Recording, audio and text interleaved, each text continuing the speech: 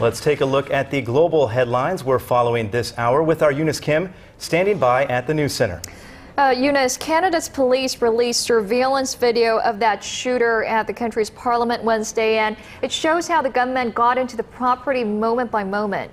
Indeed, Jinju, and the investigation continues as the Canadian government moves to bolster laws to counter terrorism. Our Connie Lee, or rather Connie Kim, reports. The surveillance video of the shooting in Canada Wednesday morning shows how the gunman got into Parliament.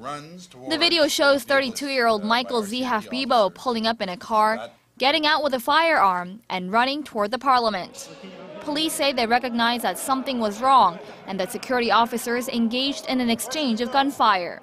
The Royal Canadian Mounted Police said in a press conference Thursday that Zehaf Bibeau had acted alone and was not one of the 90 people identified as high-risk travelers. Our partners at the Ottawa Police Service and the RCMP agreed that yesterday Zehaf Bibeau acted alone and that he is the same person that perpetrated the attacks at both the National War Memorial and on Parliament Hill.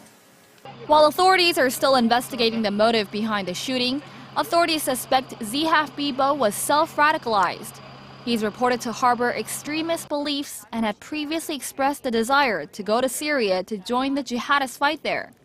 Wednesday's shooting left 24-year-old Corporal Nathan Cirillo dead with three people injured. And with the nation in a state of fear, the Canadian Prime Minister said the country would stand firm. We will, will be vigilant, but we will not run scared. We will be prudent, but we will not panic. Prime Minister Harper also made public his plans to enact new anti-terror powers and strengthen the country's terror laws. This includes giving more power to the intelligence service to track and detain suspected terrorists. The Canadian Prime Minister has also pledged to speed up plans that will toughen powers of surveillance, detention, and arrest. Connie Kim, Arirang News.